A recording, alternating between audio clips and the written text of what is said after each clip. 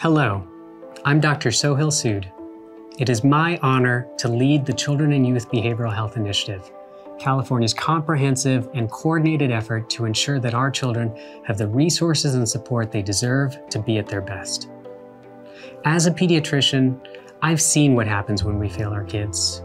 I've cared for youth struggling with anxiety, self esteem, and addiction. I've seen firsthand why we cannot let these issues fester to the point of serious injury and self harm. But I've also witnessed just how resilient youth can be.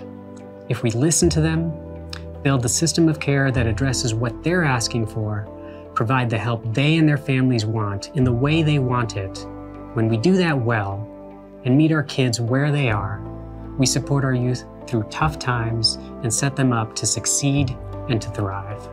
California's Children and Youth Behavioral Health Initiative, the largest of its kind in the world, exists for that very purpose to ensure that California's kids know that they are not alone and that the support they deserve is ready and available.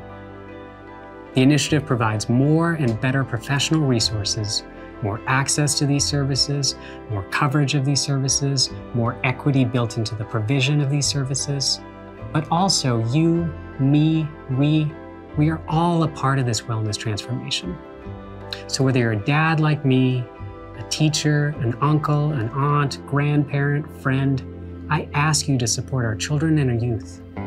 Check in on them. In this day and age, kids have complicated lives. Even if you think someone in your life is okay, consider talking with them and letting them know that resources are available if they ever feel isolated, anxious, lonely, or down. Share your struggles.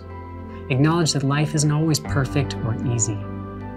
Together, we can reduce the stigma around mental health and elevate the importance of caring for ourselves and one another.